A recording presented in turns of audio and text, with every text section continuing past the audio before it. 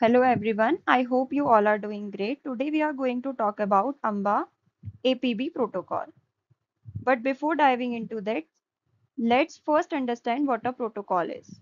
A protocol is like a set of manners or rules that people follow during a conversation. Think of it like a common language that both people must understand. In electronics, this common language is also called a protocol and it allows two components to communicate and exchange data smoothly without any confusion. So in this session, we will discuss about a protocol that is APB protocol. Coming to AMBA, what AMBA is? AMBA stands for Advanced Microcontroller Bus Architecture. It is basically a set of protocols developed by ARM to standardize the communication of various components inside a SoC. AMBA includes various protocols like AHB, APB, AXI, AXI Lite, ASB, CHI, ACE. As you can clearly see in this diagram, this is the basic architecture of AMBA. It consists of an AHB used for high performance tasks and an APB used for low speed peripherals. These two buses are connected through a bridge that is AHB to APB bridge which allow communication between high-speed components and low-speed components. This simple and modular design make AMBA efficient and scalable for SoC integration. Now let's move on the main agenda of this session, the APB protocol. APB stands for Advanced Peripheral Bus. It is a simple low power and synchronous protocol designed for connecting low speed peripherals. Unlike pipeline protocol, APB is non-pipeline. By non-pipeline, I mean that a new transfer cannot begin until the current one is fully completed. Each transfer take at least two cycles to complete. APB supports multiple slaves, but there is only one master. The APB bridge acts as a master and it initiates the request, so it is known as requester, and the peripherals that respond to the to those requests are known as completers. So in this way, the APB basically works. Now coming to the operating states of APB protocol. The APB protocol operates in three main states. The first one is idle state. In idle state, all the signals are at their default values and no transfer is happening. The next one is setup state. In setup state, the P-select signal is asserted, indicating the start of transfer. It lasts for only one clock cycle, after which the access states come. In access state, the P-enable signal is already is asserted, and when both P-enable and P-ready are high, the actual data transfer will happen. The P-ready signal is provided by the peripheral. It indicates the peripheral is ready to complete the transfer P-ready control the exit from the access state.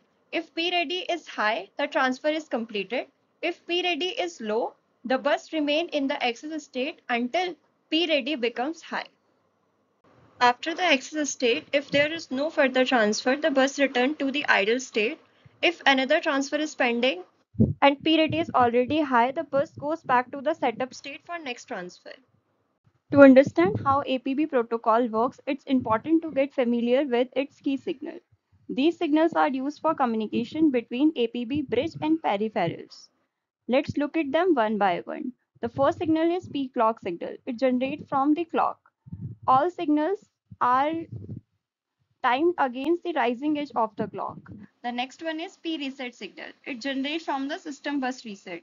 It is an active low reset signal and in all the signals of APB, the P letter is there. It indicates peripherals.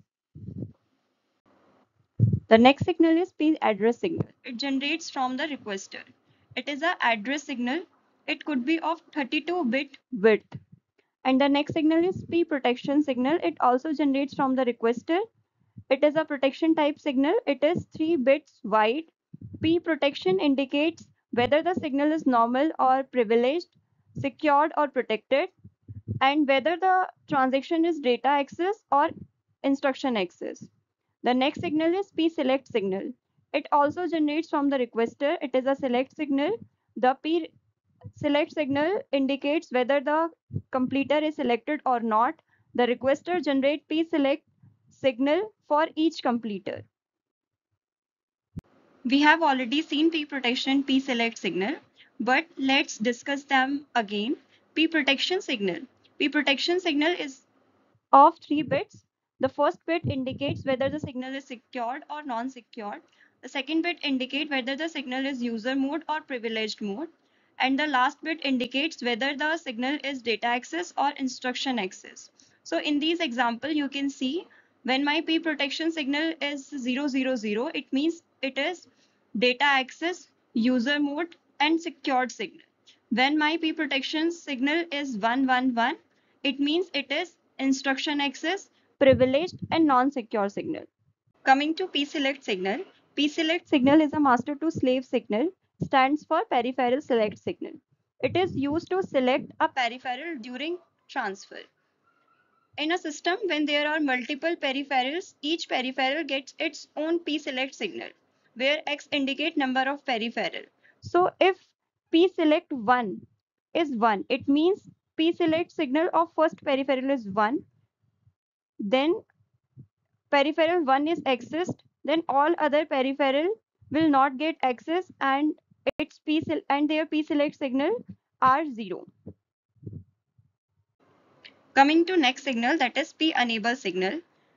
It is an enable signal. It generates from the requester. P enable indicates the second cycle of the APB transfer. Next signal is P write signal. It is a direction signal. It also generates from the requester. P write indicates whether it is a write operation or there is a read operation. When P write is high, it means there is write access and when P write is low, it means there is read access. Next signal is P write data. It is a write data signal. When P write signal is high, P write data bus is driven by the APB bridge requester during write cycles. P write data can be of 8 bit, can be of 16 bit and can be of 32 bit. Just think about why it is p write not anything like p read. Just think for once. Stop signal is a stop signal also generates from the requester. It get active during write transfer only not during read transfer. P stop indicate which byte lane to update during a write transfer. It tells the slave which bytes of the write data are valid during write transfer, p-stop signal width depend upon write data width. For every 8 bits of write data, there is 1 bit of p-stop signal. So if data is of 64 bits, then p-stop is of 8 bits. Similarly, if data is of 32 bits, then p-stop is of 4 bits. So in this example, you can see if p stop signal is 111 p stop signal is of 4 bit it means data signal is of 4 bytes and all 4 bytes are valid during write transfer. If p stop is 1100 it means p stop is of 4 bits and p write data signal is of 4 bytes and only 2 bytes are valid during write transfer. Ready signal, it generates from the completer. When P ready is high, it means our peripheral is ready for the transfer. The next signal is P read data signal. When our write when our P write signal is low, the read transfer is happening, then P read data signal is driven by the selected completer during read cycle. Next is p-slave error signal. It generates from the completer. It indicates that there is an error in our in our transfer.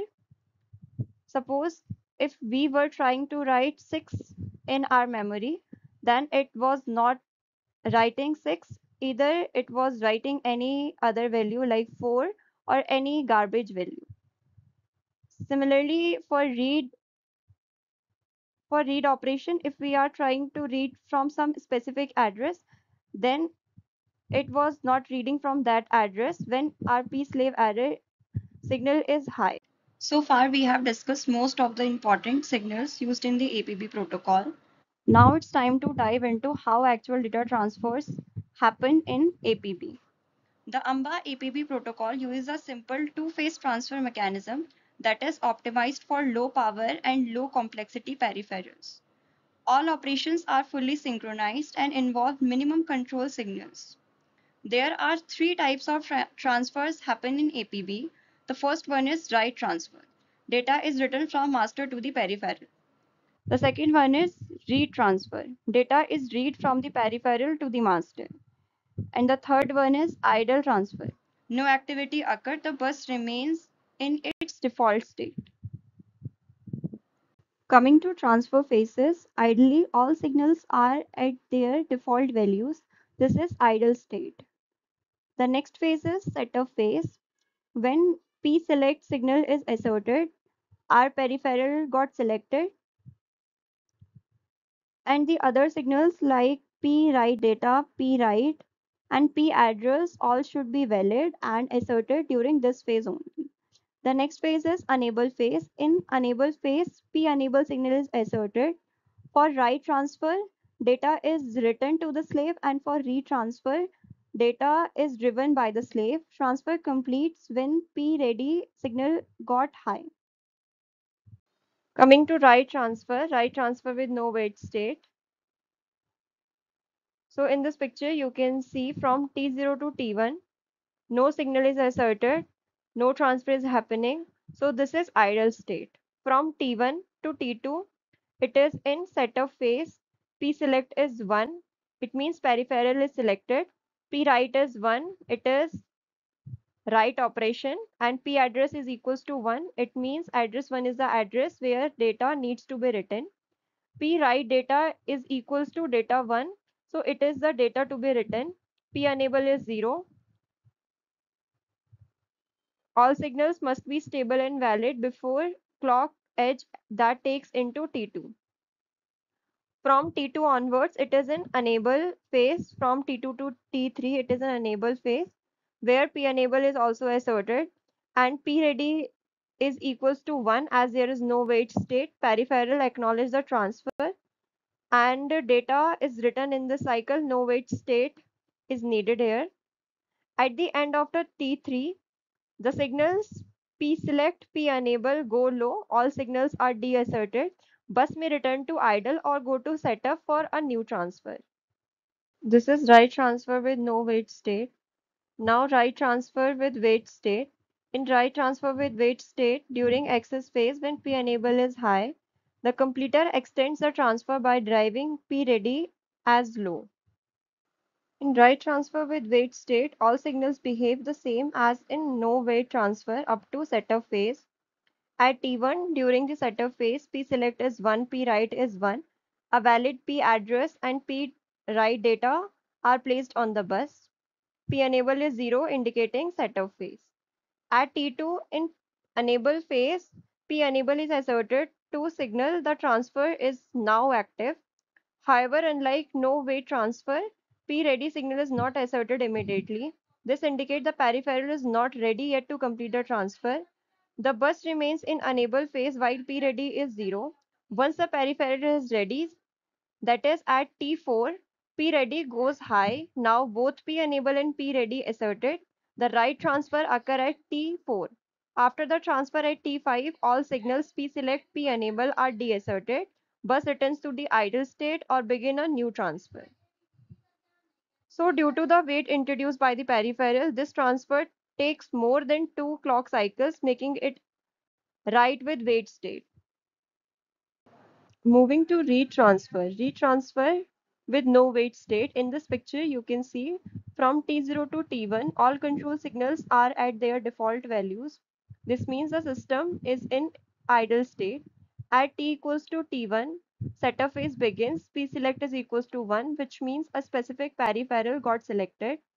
P address is equals to address 1. So the master is requesting to read data from address 1. P write is equals to 0, indicating this is a read operation. P enable is equals to 0, it is still in setup phase. At t equals to t2, the protocol enters the enable phase. P enable is equals to 1, marking the active phase. P ready is equals to 1, which means peripheral is ready to complete the transfer. Since both P enable and P ready are high at the same time, the read transfers complete successfully in this cycle with no wait state. The data is placed on P, P read data line by the peripheral received by the master. After this, the bus returns to the idle or move to the next transfer. So this is the successful read operation with no wait cycle completed just in two clock cycles with read transfer with no wait state. Now coming to read transfer with wait state. So this is very much similar to read transfer with no wait state. From T0 to T1, it is in idle state. At T1, P select is 1, peripheral selected, P address is equals to address 1 indicates the location from which data need to be read. P write is equals to 0, it means it is a read operation. From T2, P enable is asserted and P ready is 0. It means peripheral is not ready to return the data. So the bus stays in enable phase waiting for P ready to go high. This is called wait phase. At T equals to 4, P ready is equals to 1. It means P ready is high now. So peripheral is ready to return the data. So it is returning data data 1 to the master. So now read transfer is happening at t equals to t5 the signals p select and p enable and p ready all are deasserted from the system so far we have discussed both read and write operation for both cases with wait state and without wait state now let's move to a special case when error occur during the transfer in this slide we can see from t0 to t1 the system is in an idle state at t equals to t1, p write is equals to 1, which indicates that it is a write transfer. p select is 1, which means peripheral is selected. p address is equals to address 1, that is the address to which write, write operation is happening. p write data is equals to data 1, that is the data to be written at address 1. So this is the setup phase. At t equals to t2, p enable is equals to 1 which means bus moves to enable phase now p ready is equals to 0 means peripheral is not ready to complete the write operation so we have to wait at t equals to t3 p ready is high now peripheral is now ready but also p slave error is equals to 1 which means peripheral encountered an error during the transfer so even though the transfer completes it completes with an error, the data may not be written correctly due to some fault. That fault could be anything like protection error, unsupported address or anything else. So this is the case of write transfer with an error.